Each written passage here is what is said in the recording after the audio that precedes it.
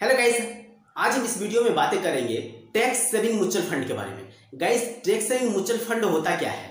Guys वैसे mutual fund जिसमें हमें टैक्स बेनिफिट मिलता है सेक्शन 80 के तहत इनकम टैक्स में डेढ़ लाख रुपया तक का जिसमें टैक्स बेनिफिट मिलता है, उसे हम टैक्स सेविंग म्यूचुअल फंड कहते हैं गाइस गाइस यहाँ पे बात हम करेंगे कि बहुत सारे टैक्स सेविंग म्यूचुअल फंड है और बहुत सारे ऐसे नॉर्मल म्यूचुअल फंड है। क्या कंपेयर हम करेंगे कि नॉर्मल म्यूचुअल फंड बेस्ट है या फिर ऐसे tax saving mutual fund best है हमें गाइज़ मैंने बहुत सारे वीडियो में मैंने डिस्कस भी किया है कि एक दो परसेंट के कारण हमें से पच्चीस तीस लाख रुपए का नुकसान हो सकता है या पच्चीस तीस लाख रुपए का प्रॉफिट हो सकता है।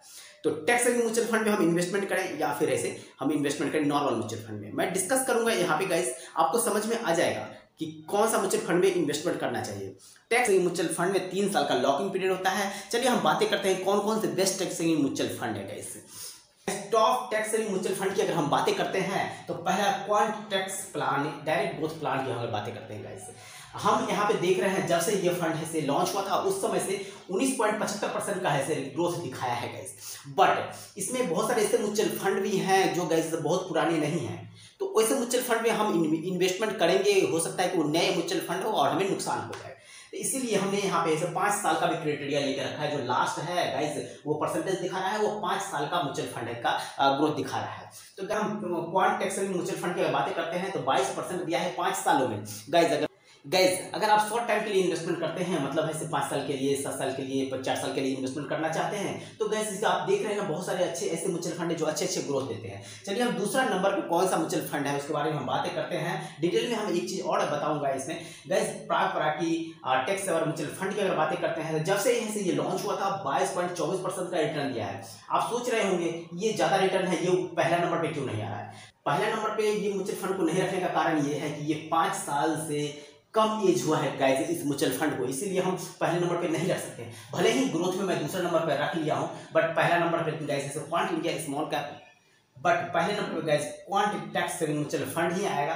अगर हम गाइज़ और डिस्कस करते हैं तो Mirae asset tax saving mutual fund है गाइज़ ये आपको जब से लॉन्च हुआ है, उस समय से अठारह पॉइंट चौबीस परसेंट का रिटर्न दिया है। बट अगर हम पाँच साल की बातें करते हैं तो यहाँ पे चौदह पॉइंट अंठानवे परसेंट का रिटर्न दिया है। वो पंद्रह परसेंट का रिटर्न यहाँ पे शो कर रहा है गाइज़ अगर बंधन टैक्स एडवांटेज फंड की अगर बातें करते हैं तो गैस यहाँ पे ऐसे जब से लॉन्च हुआ है, सोलह पॉइंट चौरानवे परसेंट का रिटर्न दिया है। और अगर हम पाँच साल की बातें करते हैं तो बारह पॉइंट बाईस परसेंट का रिटर्न दिया है। गाइज़ इस तरह से बहुत सारे ऐसे म्यूचुअल फंड है आप यहाँ पे देख रहे हैं। बैंक ऑफ़ इंडिया का म्यूचुअल फंड है डीएसपी टैक्स और म्यूचुअल फंड है कोटक टैक्स और म्यूचुअल फंड है SBI long term equity fund है। गाइज़ ये भी टैक्स म्यूचुअल फंड है। जो भी आप देख रहे हैं, ये सारे म्यूचुअल फंड में आपको तीन साल का लॉकिंग पीरियड है गाइस आप किसी में भी इन्वेस्टमेंट करते हैं, अपने पैसे को तीन साल तक अपने पैसे को छू भी नहीं सकते हैं। निकालने की बात तो दूर है गाइस आप देखें भी इन्वेस्ट करना चाहते हैं चार सालों के लिए या पाँच सालों के लिए तो गाइज़ आप ऐसे इसमें इन्वेस्टमेंट कर सकते हैं, ठीक है? या फिर तीन साल के बाद आप अपने पैसे को रिडीम करना चाहते हैं तो आप इस टैक्स म्यूचुअल फंड में इन्वेस्टमेंट कर सकते हैं। गाइज़ सबसे कम रिटर्न आप यहाँ पे देख रहे हैं S B I small cap का है, जो कि से जब से लॉन्च हुआ था, तेरह पॉइंट सड़सठ परसेंट का और पाँच साल में ग्यारह पॉइंट ग्यारह परसेंट का रिटर्न ऐसे दिखा रहा है। अगर आप सोच रहे हैं कि इतने कम रिटर्न में मैं इन्वेस्टमेंट करूँ तो गैस आप ऐसे लॉन्ग टर्म के लिए भी दूसरे म्यूचुअल फंड में इन्वेस्टमेंट कर सकते हैं। बहुत सारे ऐसे म्यूचुअल फंड बताए हैं, जैसे कि आपको टैक्स बेनिफिट अगर चाहिए, तब आप इसमें इन्वेस्टमेंट कर सकते हैं या किसी में क्लेम कर सकते हैं। आपको डेढ़ लाख रुपया तक का है गैस जैसे उस पर टैक्स नहीं लगेगा। अगर आप ऐसे टैक्स सेविंग में नहीं आते हैं गैस आपका टैक्स नहीं कटता है तो आप ऐसे स्मॉल कैप म्यूचुअल फंड में इन्वेस्टमेंट करें। आपके लिए बेस्ट होगा, ठीक है? लार्ज कैप म्यूचुअल फंड में इन्वेस्टमेंट करें, कहीं ना कहीं ऐसे यहाँ से ज़्यादा रिटर्न आपको वहाँ पर मिलेंगे, ठीक है? मिड कैप म्यूचुअल फंड में इन्वेस्टमेंट करें, मैंने बहुत सारे ऐसे वीडियो में बना के अपलोड किया हूँ, जहाँ पे आप देखेंगे गैस अगर आप कमेंट्स करेंगे तो मैं उसका लिंक में आपको पर्सनली से डाल दूँगा।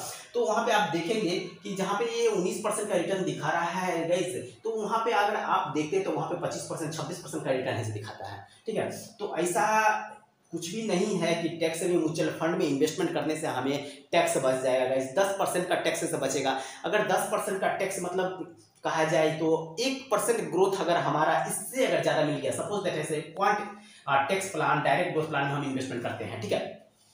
यहाँ पे लॉन्ग टर्म के लिए इन्वेस्टमेंट करते हैं तो सपोज़ दैट ऐसे उन्नीस पॉइंट पचहत्तर परसेंट का ऐसे रिटर्न मिलता है। ये फ्यूचर की नहीं, ये पास्ट का ऐसे रिटर्न यहाँ शो कर रहा है गैस जो लोग सोच रहे हैं क्या जो है टैक्स म्यूचुअल फंड ऐसे बेहतर होता है नॉर्मल म्यूचुअल फंड से। मैं उनके लिए मैं बता रहा हूँ कि गैस यहाँ सपोज़ दैट कि quant tax plan direct growth plan है ये। अगर आप यहाँ पे इन्वेस्टमेंट करते हैं, आपको यहाँ पे उन्नीस पॉइंट पचहत्तर परसेंट का रिटर्न ऐसे दे रहा है। सपोज़ दैट ये कंटिन्यूस फ्यूचर में भी देगा।